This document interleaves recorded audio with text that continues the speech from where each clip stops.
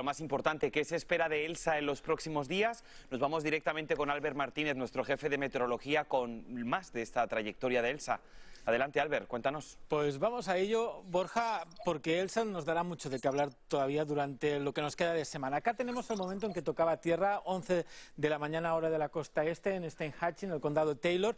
Hay un récord, he encontrado un récord de Elsa, y es que ha sido el primer huracán que vemos en el Golfo de México entre el 1 y el 15 de junio desde Denis en 2005. Así que ha sido la única cosa excepcional que ha hecho este sistema. Ahora lo tenemos con vientos en las 65 millas por hora, ya en tierra, la mayor parte de la actividad. De hecho, está lloviendo bastante en el norte de la Florida, en Cross City 30 millas por hora, en Gainesville 40 millas por hora, esas ráfagas de viento. Y como vemos, seguirá lloviendo en esa área. Además, esas bandas de lluvia pueden generar algún que otro tornado. Y fijaros, a 300 millas, eso es increíble, a 300 millas hay esa banda más externa que sigue dejando mucha lluvia en Fort Myers y eso va a seguir durante lo que nos queda de día con acumulados increíbles. Hemos visto más de 10 pulgadas entre Sarasota y Fort Myers y va a seguir lloviendo, lo que puede provocar más inundaciones.